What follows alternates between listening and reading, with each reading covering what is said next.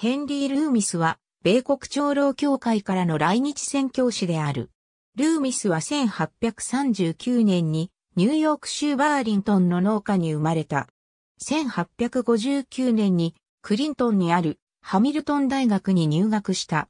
ハミルトンでの学生生活の途中で南北戦争が始まると義勇兵として北軍に志願する。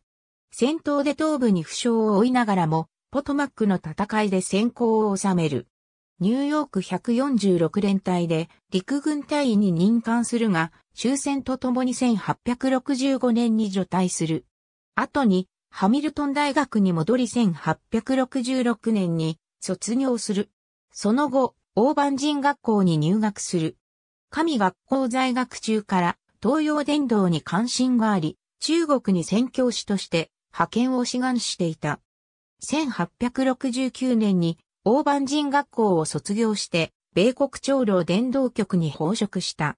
その後、ニューヨーク州の教会に初代牧師として赴任した。1872年3月にアメリカ最古の超党派的な外国伝道組織、アメリカンボード初の宣教師 DC グリーンの妹ジェーンと結婚してから、米国長老協会派遣の6番目の来日宣教師として1872年5月24日に横浜に上陸した。ルーミスは日本初の長老派協会である横浜第一長老協会の仮牧師に就任する。1875年頃から南北戦争で受けた東部負傷の後遺症で頭痛に悩まされる。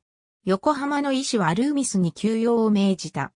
1876年1月4日に築地で行われた在日ミッションの特別会議に参加する。しかし、持病の頭痛に悩まされて、1876年4月26日に横浜を離れた。帰国後、カリフォルニア州サンフランシスコの近くで静養をした。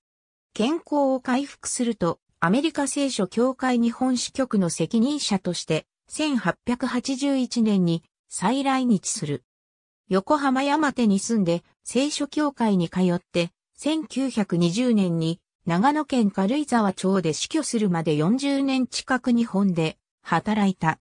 長年の聖書協会での働きが評価されて、1915年にハミルトン大学より名誉進学博士号を受けた。6人の子があり、長女のクララは横浜共立学園の校長を35年間務めて帰国した後、再来日して京都の大学でも教鞭を取った。ありがとうございます。